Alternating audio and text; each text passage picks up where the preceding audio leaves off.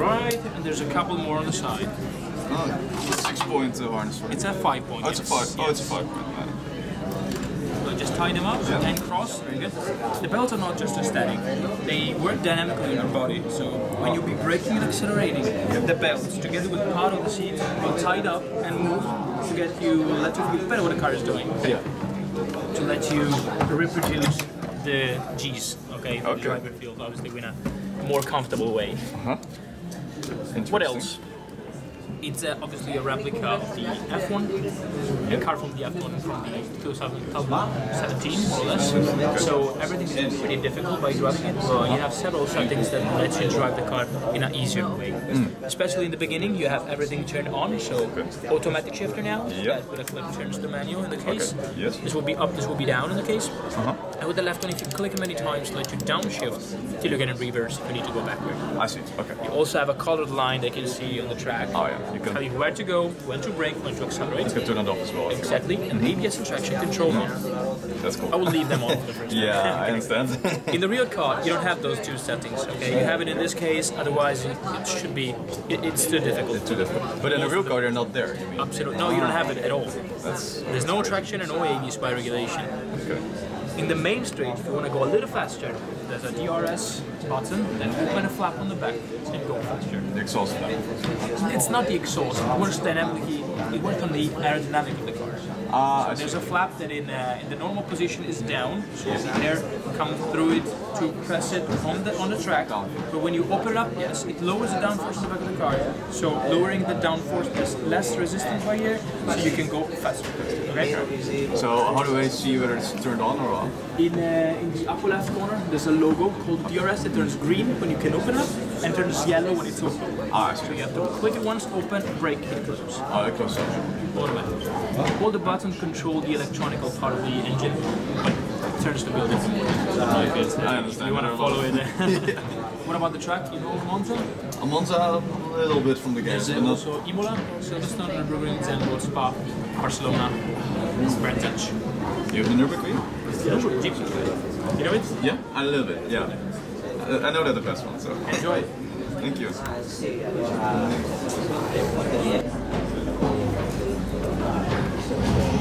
Manual or automatic? Uh, let's start with uh, automatic. Okay, just go. Oh, that's crazy.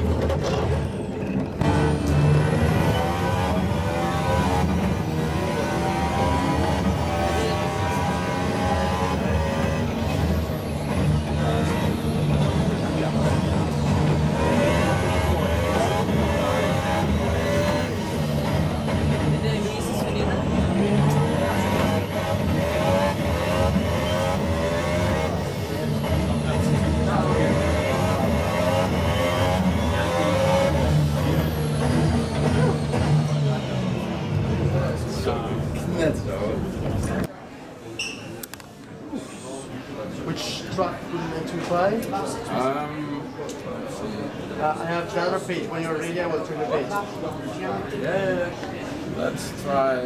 I have also this one. Okay, let's try Monza. Monza? Okay. Try the brake, please. Try the brake so you can see on the right. That's the level you're pressing. You have to, ah, to, to reach the end for forget ladder brake Yeah, in the yeah, turns. yeah, Okay? Okay. Okay. Okay, automatic. Have fun.